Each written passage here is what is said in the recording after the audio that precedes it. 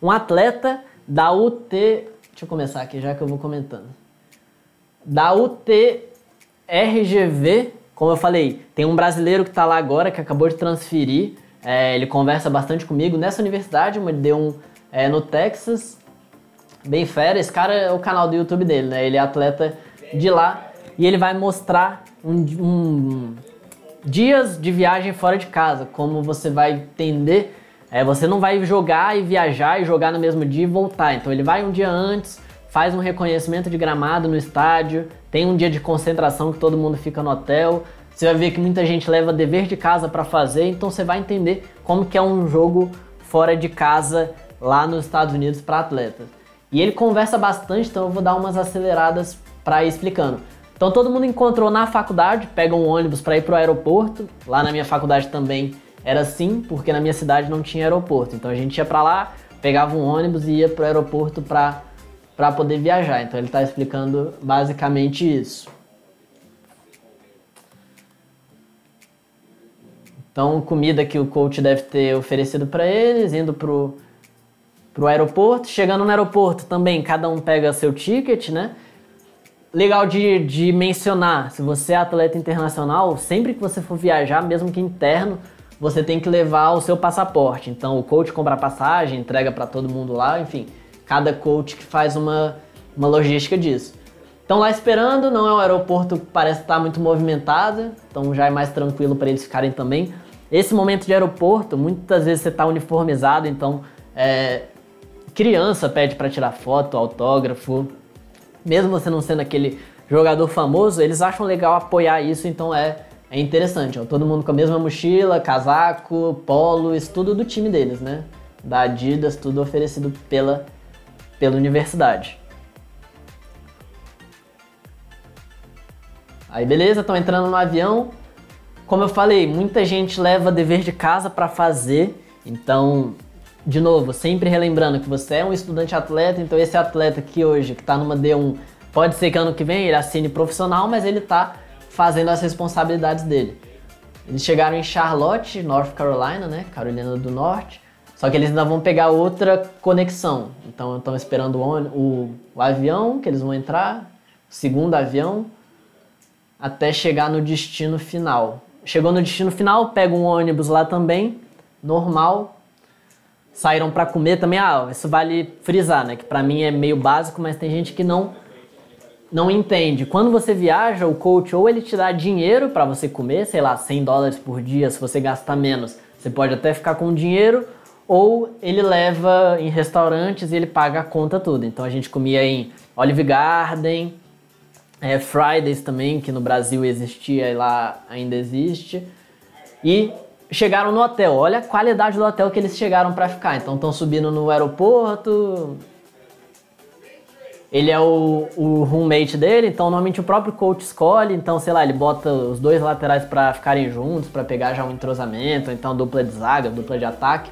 Normalmente o coach, o meu coach escolhia o quarto que os atletas ficam. Aí beleza, faz o check-in, entrou no quarto. Olha o quarto de hotel que esse atleta tá, ali filmando, mostrando um pouco.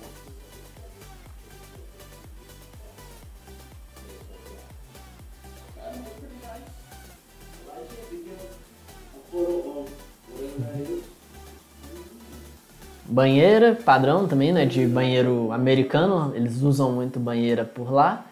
E aí, ó, quarto grande com uma sala, duas camas de casal queen, eu acho, sei lá. Cada atleta fica em uma. Esse é o quarto de hotel que eles vão ficar durante essa viagem. Então, vão concentrar, vão.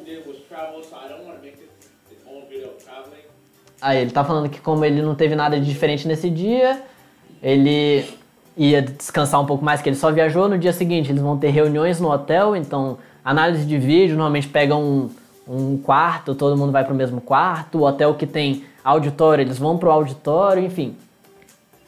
E agora, café da manhã, café da manhã do hotel também lá. Normalmente eles pegam é, um cardápio especial. Quando a gente ia, o nosso coach montava o cardápio, passava pro, pro hotel e o hotel fazia pra gente. Então, é, são algo melhor. Então ele tá comendo ovo, isso aqui é como se fosse uma, uma batata, né? Uma batata mais frita, não é tão saudável. Pão, é, batata assada lá atrás. Então, café da manhã típico americano, né?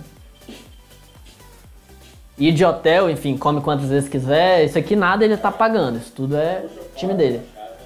Depois de lá, voltou pro quarto, porque eles vão agora sair para reconhecimento de gramado e tudo mais. Ah, e ele falou, enquanto está tendo esse tempo livre, ele vai fazer projeto dele de, de escola que ele tem que fazer. Então, ó, levou para lá, levou para viagem, tá estudando a parte mais de, de matemática, cálculo, enfim. O amigo dele tá mais tranquilo, ou ele não tinha dever, ou ele tá mais largado, o cara tá descansando ali antes deles saírem pro reconhecimento de gramado. Aí agora é isso, já botou uniforme de treino, não é uniforme de jogo, pra fazer o reconhecimento de gramado. Todo mundo saindo com seu material, aí de novo, cada um cuida das suas coisas e vai para lá. Ônibus. Ah, isso é verdade também, tinha até. Eita. Tinha esquecido desse detalhe.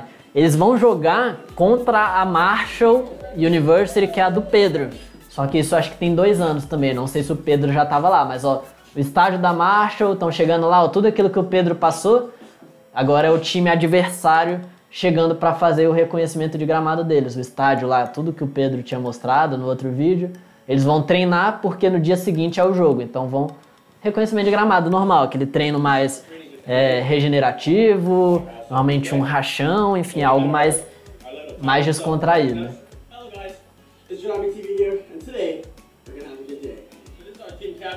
Mais zoeira, tudo Gatorade também, deve ser patrocinador deles. Gonna try to start his own YouTube channel. I, encouraging him. And I told him, once he starts it, then we can, you know, collaborate. And then you guys can follow him too. Whenever he... Aí tá mais resenha. Voltando também do reconhecimento de gramado. Parou no Chipoto, também estudo. Todo mundo pede o que quer e o coach vai lá e paga no final. Ele tem um cartão do time, né? Cada um comendo o que quer. Em dias assim, provavelmente está de manhã. Então eles treinaram, fizeram o reconhecimento do gramado de manhã, almoçaram à tarde, ou o coach vai fazer alguma análise de vídeo, ou pode ser também, dependendo de como o time tá, a situação do campeonato, pode ser que eles saiam para a cidade para conhecer pontos turísticos, então a tarde vai ser um pouco mais, mais livre. Ó, o que ele falou, mais tarde à noite, eles foram pro Olive Garden. Olive Garden lá é considerado um, um restaurante mais chique, sei lá, Olive Garden acho que tem em São Paulo, Aqui no Brasil deve ser um prato, sei lá, 100 reais lá. O coach leva para eles e paga o Olive Garden para todo mundo, mostrando mais resenha, galera descansando. E aí ele fala da concentração. Quando eles chegam no quarto, deu 9 horas da noite, cada um vai pro seu quarto, não pode mais ter aquela resenha no corredor, galera ficar jogando FIFA no quarto do outro, cada um vai pro seu quarto. Aí realmente é concentração, descansar, cada um com seu celular, aí é profissionalismo. Tem horário, tem que cumprir. E é isso. Dá acelerada porque é mais conversa. Dia seguinte, de novo, já o terceiro dia de viagem, de novo. Café da manhã, cada um comendo o que acha mais correto, ovo, batata, carboidrato, proteína, né? Uma coisa também, ele tá falando, eles, o coach obrigou eles depois do almoço sair do hotel e andar. O meu coach faz isso também. Porque você ficar no hotel deitado o tempo todo, pode ser que seu corpo não não é, circule o sangue da melhor forma. Então eles sempre fazem algo. Então fazendo um trabalho de piscina agora, piscina do hotel mesmo, fazendo um trabalho mais de ativação, porque vai chegar na hora do jogo. E agora eles estão preparando para sair para o jogo. Cada um com seu material também, tudo da Adidas, né?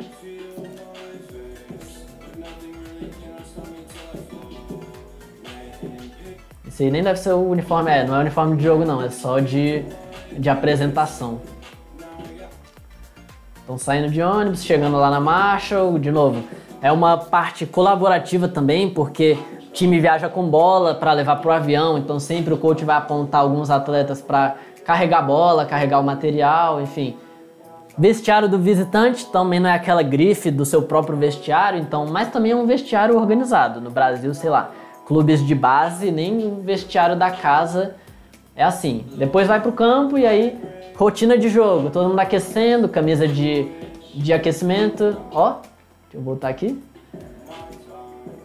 Isso aqui foi no ano passado, então, provavelmente. O jogo tava 1 a 1 a Marshall contra o TRGV. Esse goleiro, ele é o Paulo Pita. Paulo Pita, ele foi draftado pela MLS, então hoje ele joga profissional, brasileiro, tá nos Estados Unidos, era da Marshall University. Fez uma temporada fenomenal no ano passado, ano retrasado, na verdade, né? E foi draftado no ano passado. Vamos ver se vai aparecer o Pedro em algum momento. Pedro já tava lá, sim. Ó, ganharam de 3 a 2 da, da Marshall, fora de casa, né? Resultado bom demais para eles. E a Marshall foi campeã da conferência, então deve ter sido um jogo bem, bem disputado. Saindo de lá agora, ganharam o jogo, pararam no Chipotle para comer. Chipotle é como se fosse um restaurante mexicano, só que não é aquele mexicano, mexicano mesmo. Lá tem arroz, feijão, é, pode botar frango ou carne, salada, então é um prato mais perto do brasileiro, né? Eles pegaram a comida e levaram para comer no quarto, voltaram para concentração. Espera aí, o que, que era aquilo? Ah, e aí ele já mostrando o dia seguinte, voltando para casa com os três pontos contra a Marshall, que é uma equipe bem qualificada, então é, provavelmente estão voltando felizes. Espera aí, deixa eu botar aqui para rodar enquanto a gente conversa. Ixi, aí.